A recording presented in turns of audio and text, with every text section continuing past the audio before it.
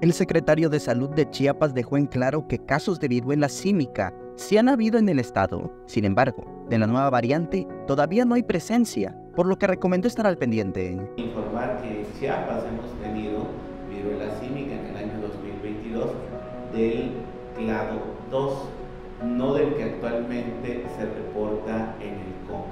Es algo que debemos de tener claro, no es algo eh, nuevo o que haya que alertarse, si hay que ocuparse. Por ello, emitió algunas recomendaciones para poder identificar esta nueva variante de la enfermedad que fue detectada en África. Debemos de estar atentos a la presencia de la enfermedad, eh, obviamente identificar las lesiones en piel, puede haber fiebre, cefalea, malestar general, el crecimiento de los ganglios o esas bolitas que nos salen en el cuello, hay que identificarlas eh, porque pueden estar asociadas a, a, esta enfermedad.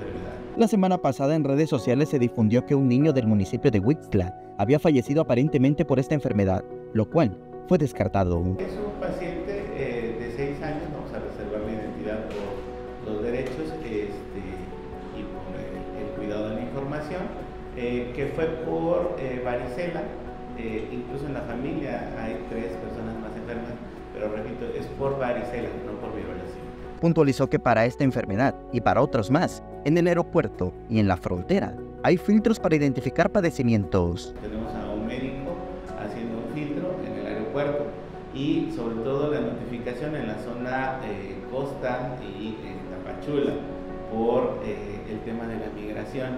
Tenemos ahí una movilidad de migrantes en una frontera muy porosa eh, que nos complica tener el control, sin embargo la notificación a todas las áreas de migración, a toda la zona de eh, centros de salud y hospitales de la región Soconusco para poder identificar de manera oportuna. Con imágenes de Christopher Canter, Samuel Revueltas, Alerta Chiapas.